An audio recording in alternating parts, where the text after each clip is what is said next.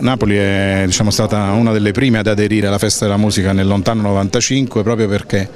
è una capitale, nonostante non sia capitale di uno Stato, è una capitale della musica sicuramente in Italia e nel mondo. In questa edizione come al solito vedremo una cosa fondamentale, Napoli, cioè Napoli con la, con la, con la sua voglia di nonostante tutto portare appunto la gioia tra le persone, la musica non tanto nei luoghi deputati a farla teatri, sale di musica eccetera, ma per strada tra le persone, nei monumenti, nei luoghi luoghi storici, nel vissuto della città, quindi nel quotidiano per un giorno che poi in realtà a Napoli diventano quattro proprio perché c'è tanta voglia di esprimersi e di stare insieme attraverso la musica appunto. La festa europea della musica, con la quale in tutta Europa si saluta il solstizio d'estate, a Napoli sarà un inno alla gioia, con spettacoli musicali gratuiti che oltre alla tradizionale giornata del 21 giugno si estenderanno per un'intera settimana dal 17 al 24 Numerosi enti ed associazioni, luoghi pubblici e privati hanno aderito ad un programma di iniziative che avrà il prologo nel concerto di 100 chitarre del maschio angioino, attraversando poi i generi musicali più vari,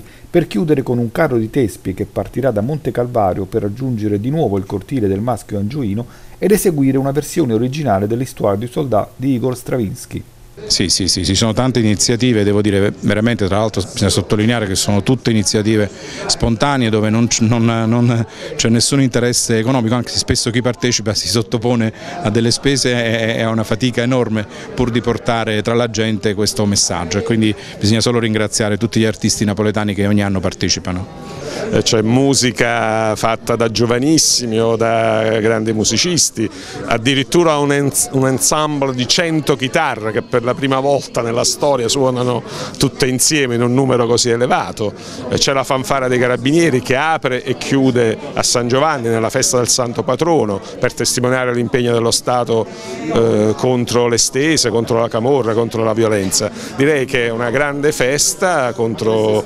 xenofobie, razzismi, violenza, eh, bruttezza, diciamo. è l'anima vera dell'Europa che risuonerà eh, in ogni angolo del nostro continente, la vera anima dell'Europa, sono le, veri, le vere radici, autentiche radici d'Europa e in questa grande festa risuona Napoli, credo, veramente in modo straordinario.